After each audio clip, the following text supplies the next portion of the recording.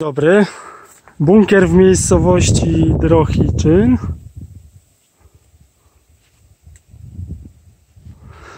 E, Bunkier w miejscowości Drohiczyn tak wygląda. Niezły, tylko rozerwany, bo Niemcy wyciągali mocowania od dział.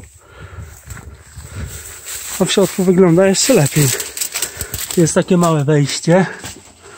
Zaczyna się wbić. I mamy ogromny bunkier.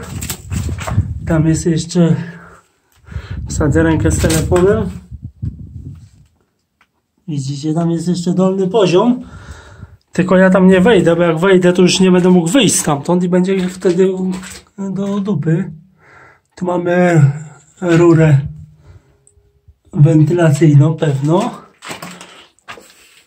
Tu mamy też jakieś rozerwane kawałki. O. To ma być szybki, takie szybkie, takie zwiedzane dosyć. Tak wyglądały pomieszczenia, widać po solidnych zawiasach. Znaczy, jakie, jaka stal kiedyś była, tyle lat to stoi dopiero po powierzchni tylko wpierdala. Tu ktoś sobie przebił przejście, większe, bo chyba potrzebował. No, pomieszczenie ogólnie tak wygląda. Małe tam pomieszczenie niezbyt duże. I tu mamy zejście jeszcze na dolny poziom, ale podejrzewam, że jak tam wejdę, to już nie będę mógł wyjść stamtąd. Mogę tylko tyle pokazać, ile mogę, bo tam się widać. O, nie da rady tam wejść po prostu. Nie mam jak, nie znalazłem żadnego wyjścia. Tutaj też rozerwane eksperyment, bo tu działo było. Niemcy zabierali mocowania od działu, bo tu duża e, ileś tam e, ton ważyło i kupa stali, a czołgi z czegoś trzeba robić. Więc wysadzali, zabierali. Zresztą widać jeszcze szyny, jakie potężne były. I widać co tu się działo. Tutaj musieli pruć chyba na wariatach. Zresztą czas gonił. Zobaczcie sama eksplozja, jakie pręty zbrojeniowe. Niektórzy w ogóle fundamentów w domach nie mają z takiego betonu, no by kurde, no by nie jedno przetrwało. No i tu kolejne pomieszczenie. Napisami się nie ma co przejmować. Tak to wyglądało.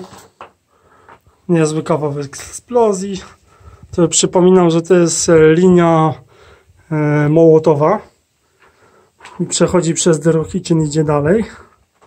No i ciekawe takie właśnie znaleźliska w postaci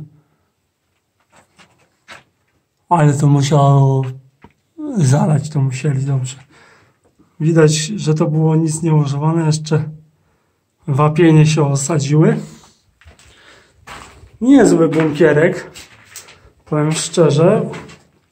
Jest ich tu naćkane jak e, włóczki. Może jakie kanały wentylacyjne, tylko Niemcy takie budowali.